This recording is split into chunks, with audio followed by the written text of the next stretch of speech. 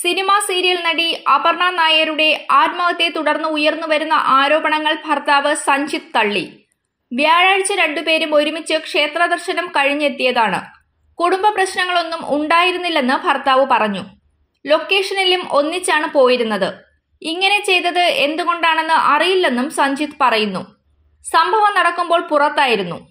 അപർണയുടെ അമ്മ വിളിച്ചു പറഞ്ഞ ഉടനെ വീട്ടിൽ മടങ്ങിയെത്തിയെന്നും അദ്ദേഹം കൂട്ടിച്ചേർത്തു. ഭർത്താവിന്റെ അമിത മദ്യപാനവും അവഗണനയും മൂലമാണ് നടി ആത്മഹത്യ ചെയ്തതെന്നാണ് എഫ്ഐആറിലെ ആരോപണം. സഹോദരി നൽകിയ മൊഴിയുടെ അടിസ്ഥാനത്തിലാണ് കരമന പോലീസ് എഫ്ഐആർ രേഖപ്പെടുത്തിയത്. വ്യാഴാഴ്ചയാണ് അപർണയെ തിരുവനന്തപുരം കരമനയിലെ വീട്ടിനുള്ളിൽ തൂങ്ങി മരിച്ച നിലയിൽ കണ്ടെത്തുന്നത്. ആത്മഹത്യ ചെയ്യുന്നതിന് മുമ്പ് അമ്മയെ വീഡിയോ കോൾ ചെയ്ത് ഭർത്താവുമായുള്ള തർക്കത്തെക്കുറിച്ച് പറഞ്ഞിരുന്നുവെന്നാണ് ബന്ധുക്കളുടെ മൊഴി.